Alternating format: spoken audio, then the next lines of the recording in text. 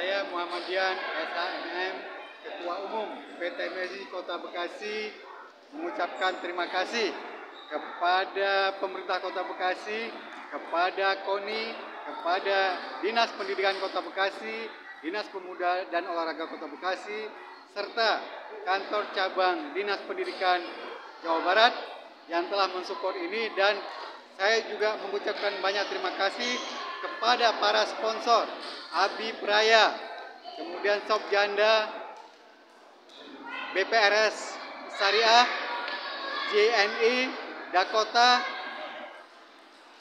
Yayasan Pendidikan Taruna dan yang terakhir kepada Yayasan Pendidikan Taruna Bangsa. JNI JNI sudah. PT Eka Cipta Mandiri. Ini mati soalnya. Dibaca lagi. Dakota Kargo. Oh, I, I, Eka Cipta Mandiri.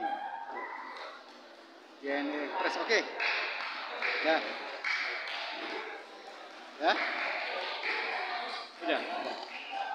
Eh, harapannya, Apa? harapannya. Harapannya untuk eh, masa yang akan datang yang terutama yang sangat penting adalah pesertanya lebih banyak. Terutama kan kita tujuannya mencari atlet-atlet berprestasi di Kota Bekasi. Jadi kita berharap eh, ke depan memang mungkin dibutuhkan waktu lebih panjang eh, untuk melakukan sosialisasi bahwa kita akan melakukan kejuaraan antar pelajar di Kota Bekasi. Jadi saya rasa perlu waktu yang panjang supaya lebih maksimal kita sampaikan kepada sekolah sekolah negeri maupun sekolah swasta yang ada di Kota Bekasi. Terima kasih. Mohon izin bergeser sini jadi backgroundnya ini. Ngomong aja, senang dengan kegiatan ini.